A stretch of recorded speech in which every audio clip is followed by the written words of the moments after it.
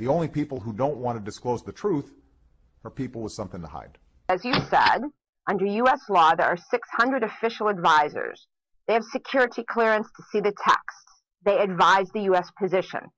Meanwhile, the Senator, Ron Wyden, who is the chairman of the Trade Committee in the Senate, the committee with jurisdiction over the TPP, has been denied access to the text, as has his staff with security clearance, to a point where this man who has supported agreements like this in the past has filed legislation demanding he have the right to see the agreement that he's supposed to be having oversight with.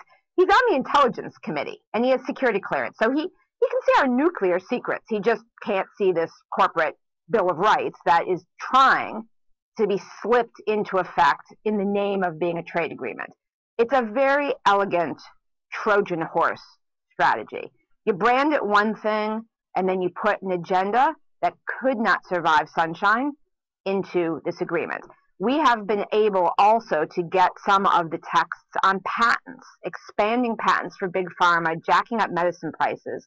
And we have analysis on our website, tradewatch.org, as well as information about how to get involved because these agreements are a little bit like Dracula.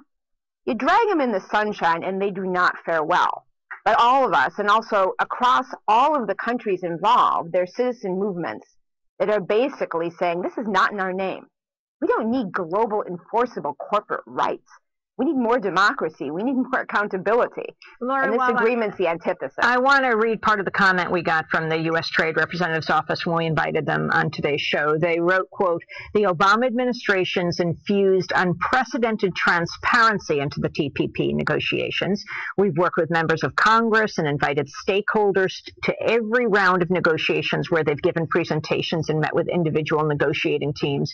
We're always looking for ways to enhance provisions on transparency and public participation.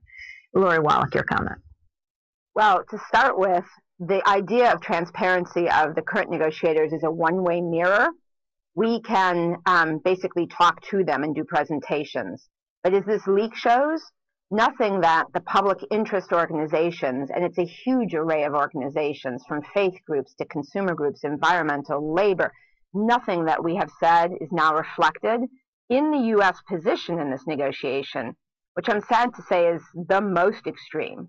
I mean, the U.S. is even opposing proposals in this agreement to try and make sure countries have the ability to use financial regulation to ensure financial stability. The U.S. positions don't reflect what we've been saying, but we can talk at them. But just to put this in perspective, in the last negotiation of a big regional agreement, that was the Free Trade of the Americas in the 1990s, 34 countries, very complicated agreement. Two years into the negotiation, the entire draft text was published officially by the governments. Here we are three years into this negotiation with eight countries, and they will not publish a sentence. In fact, it finally leaked that they had signed a special agreement not to release any draft text for four years after negotiations are done. A secrecy agreement on top of the normal secrecy. And when asked Ron Kirk, the trade representative, why.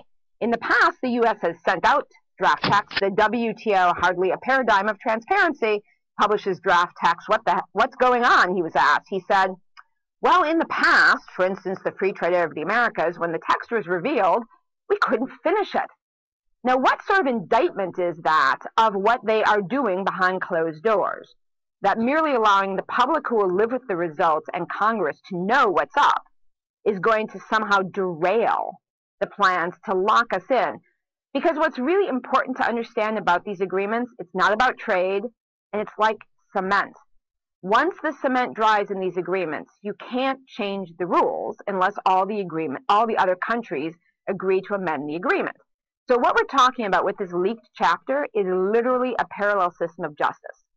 People have domestic laws in courts trying to defend our rights and get our needs met, corporations would have a parallel system of private attorneys, with no conflict of interest laws.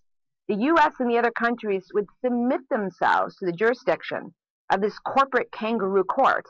And these three random attorneys would have the right to order the U.S. government to pay unlimited amounts of our tax dollars to corporations and investors who A, claim regulatory costs need to be refunded, or B, are saying they're not being treated well enough, regardless if the policies they dislike are the exact same ones that apply to all of us.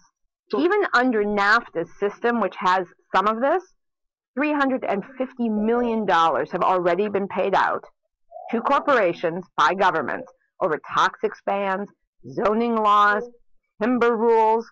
This is a sneaky outrage, and if people actually put a spotlight on it, we can stop it. So, Lori, uh, I wanted to ask you. You mentioned the eight nations that are involved in negotiations. Uh, which nations are they? And also the issue of uh, the, way this is being negotiated, the, number could expand dramatically in the future. Can you talk about that? Well, the reason why it is so incredibly important that this agreement be exposed is this could well be the last agreement that's negotiated. So many of your listeners and viewers have been involved in the sneaky way trade agreements have been used by corporations to limit regulation and to, to foster a race to the bottom since NAFTA. And each of these agreements has gotten bolder, more expansive in its limits on government regulation and its granting of corporate powers. This one could be the end because what they intend to do is leave it open, once it's done, for any other country to join. So this is an agreement that ultimately could have the whole world in it as a set of binding corporate guarantees of new rights and privileges enforced with cash sanctions and trade sanctions.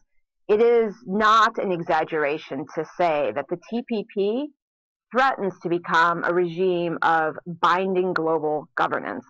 Right at the time that the Occupy movement and movements around the world are demanding more power and control, this is the fight back.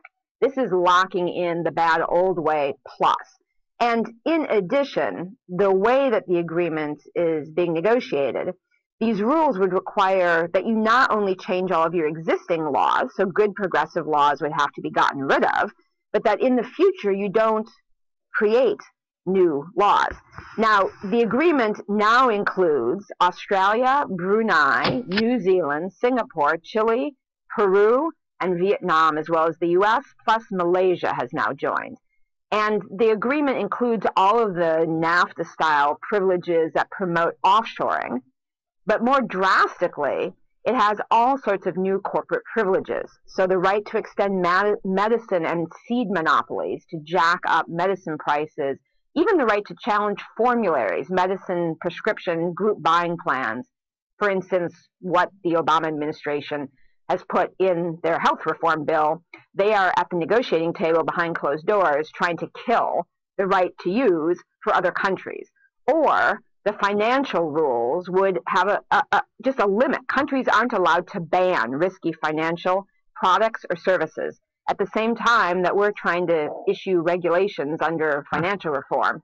And the agreement even meddles with how we spend our local tax dollars for folks around the country who are doing sweat free campaigns, who are doing living wage campaigns, green buying campaigns, this agreement says A, you can't have local preferences, so no buy New York State preference to recycle money back in your state, your tax dollars, no buy American, but also conditions like a product has to have recycled content or that, that uniform has to be sweat free.